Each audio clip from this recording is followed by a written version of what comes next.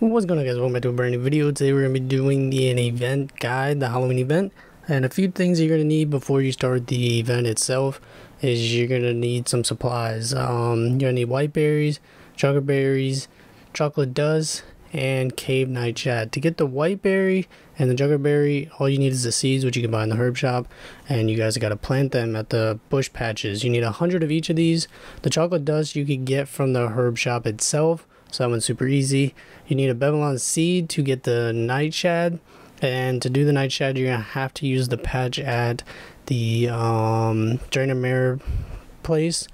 Um, so another few items that you're going to want is a magic scepter and or a amulet glory to get to Drainermere. Now to start this event, you guys got to go to Edgeville and talk to Postie Pete.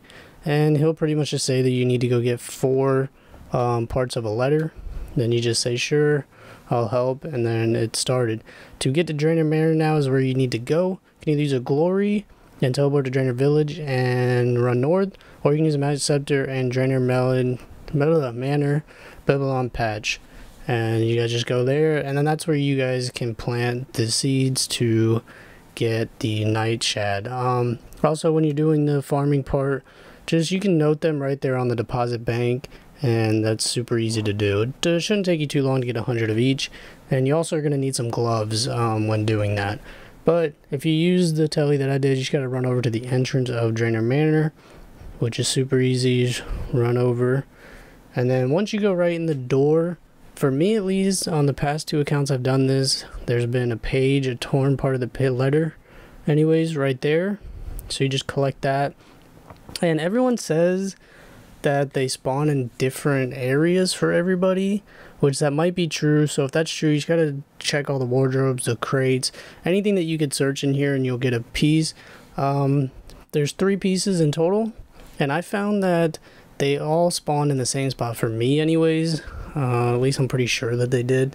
So I just ran over here. When I did this on my Iron account, it was over here in one of these wardrobes. So that's just for me. They say that they are they are random for everybody, but I found that for me it was not random. So that's where my second one was. Uh, also check all the floors.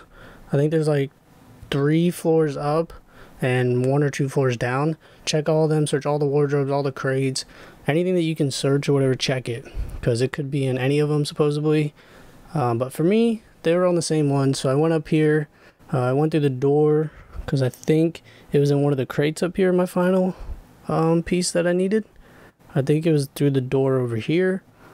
So I went in here, search, and there we go. So I got three. Once you have three, go ahead and combine them to make the full letter. And then go ahead and read it. Then make sure you have all the supplies on you.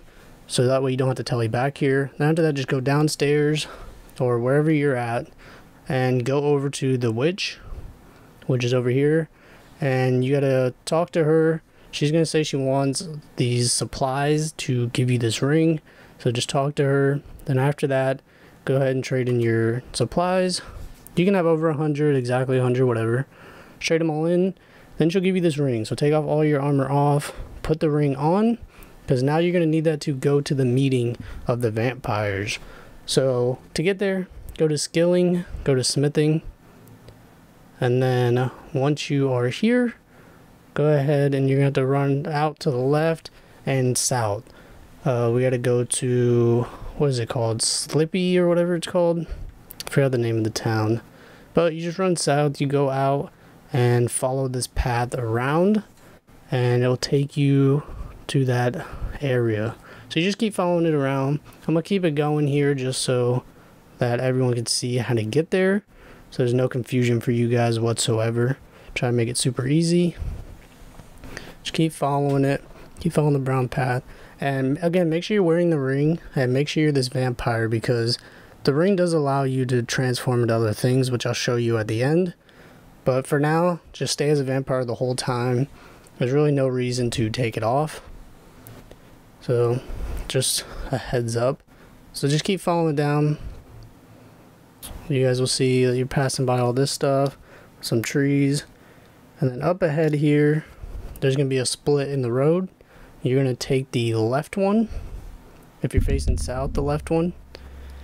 And they'll take you into this town. Then once you're in the town, just keep going south a little bit, and there should be another vampire over here that you guys will see.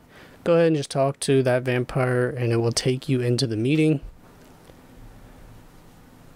And now you're in the meeting, so you can just get through the dialogue.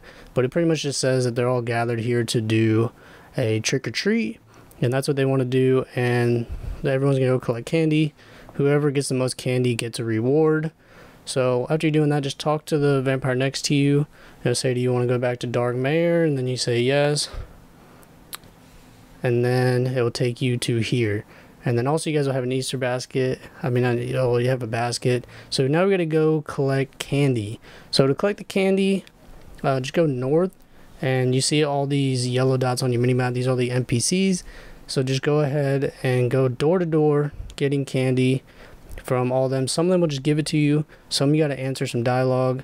Some of the questions will be like, I don't know who you are. So then you say, I'm so and so. They'll give it to you. Some say you got to entertain me. So you got to dance. And the other one is, your outfit doesn't look right. So there they all are. And there's even one you guys steal candy, which you're actually going to use. So just click on them. You can either just go one by one to click through them, or you can actually read it and get it right. Also, you need 20 candy. So all you got to do is keep following this path around until you get 20 candy. You just click on your basket. It'll tell you when you have 20. Then after you have 20, you just go back to the main entrance and talk to that dude again. And that'll be it for this part. So I'm to go ahead and collect 20 candies real quick. And then I'll be right back with you guys. Okay, so once you get your 20 candy, um, we're to go ahead and go back to the dude. You can check to make sure you have 20 candy by clicking on your basket and it says all this. You've collected 20. That should be more than enough, and that's how you know. There's plenty of people to give candy to, so don't worry about that. There's plenty of NPCs that'll give you candy. Uh, I didn't even use all of them, to be honest. I just went door to door and kept getting them. Uh, if you guys want to try, though, you might be able to just do one of them I doubt that they actually did it that way where you could just sit there and click one and they'll keep giving you candy. But I went door to door. And then also, just a side note, you will have to steal candy from some of them. Um, some of them will be like, I don't have any candy for you or something. And then you just steal from them. Then they'll be like, oh, I didn't see that one coming. They'll give you candy. So that was kind of funny, I thought. But after that, you just run all the way back around the way that you came. Go back to that dude that was in the front by the big door and then go ahead and talk to him. And then what he's going to do is take you back to the, the meeting again.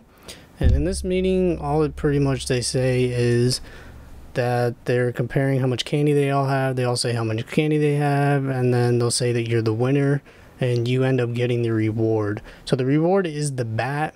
Um, so once you get that, you're done. You can teleport back to Edge. You get the bat and the ring from this, and then an NPC, something with the NPC. Uh, and then this ring transforms into different thing, the ghost, the skeleton, and then a Santa. So I'll just show those off real quick. Here's the ghost, and then here's the skeleton, and then the final one, the Santa, which I think looks super dope. That's going to be it for this one, guys. Make sure you smash that like button, subscribe as always, and I'll see y'all next time.